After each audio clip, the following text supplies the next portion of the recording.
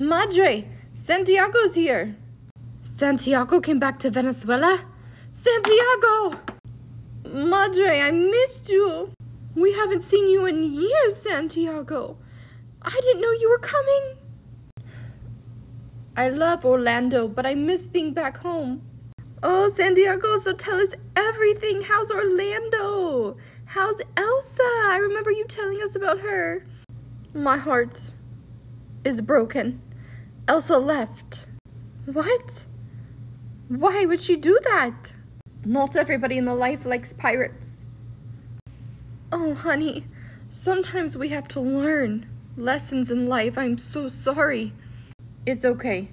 I'm here now. I'm back to my roots. I know a way you can win Elsa back. Don't forget, now you are in Venezuela, in a magical casita.